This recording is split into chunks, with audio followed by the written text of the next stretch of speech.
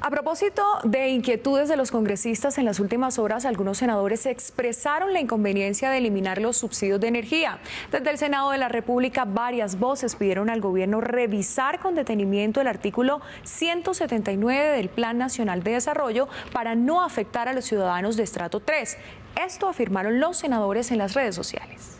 Empezamos con este trino del partido Cambio Radical. El senador Arturo Char dice, manifiesto mi preocupación frente al artículo 179 del Plan Nacional de Desarrollo 2019 que eliminaría los subsidios al estrato 3. Esto afectaría a cerca de 250 mil usuarios en la región Caribe y aumentaría hasta en un 18% la tarifa del servicio.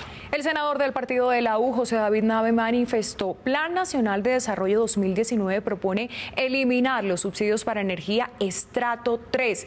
Partido de la U no apoyará este atropello a la clase media.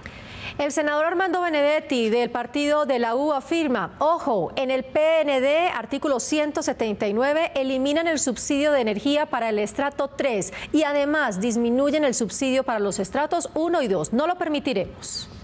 El senador Luis Díaz Granados del Partido Cambio Radical afirma se lesionarían más de 2.8 millones de usuarios en Colombia y se incrementarían tarifas en 18%. Nuestro llamado al PND para que no se afecte a usuarios vulnerables.